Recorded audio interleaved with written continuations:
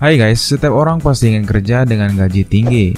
Namun, setiap pekerjaan yang bergaji tinggi tentu punya tanggung jawab dan risiko yang tinggi pula. Seperti halnya pekerjaan tukang las bawah laut yang menjadi salah satu pekerjaan bergaji besar namun memiliki risiko yang tinggi.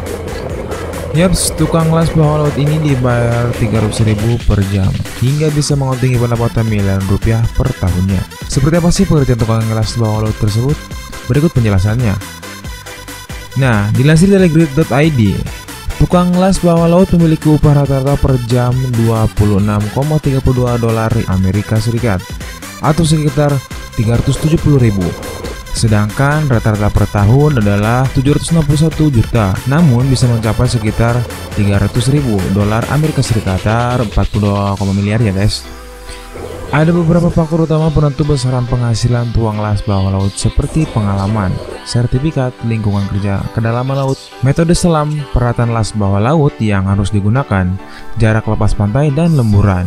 Pekerjaan ini juga dibagi menjadi dua jenis, yaitu berdasarkan jam kerja, lepas, pantai, dan darat, serta proyek selam. Sementara itu, gaji tukang las berpengalaman dan pemula ya jelas berbeda.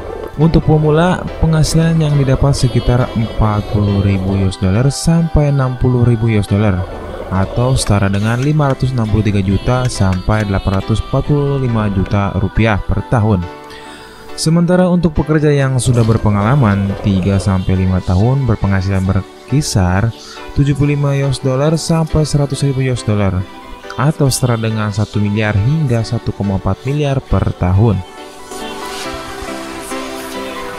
Contoh proyek penyelam tukang las di bawah laut antara lain membersihkan situs bawah laut, survei pantai jangkar kaki, memeriksa menstabilkan pipa minyak bawah air, memasang wellhead, perbaikan turbin kapal pesir atau angkatan laut, dan lain-lainnya.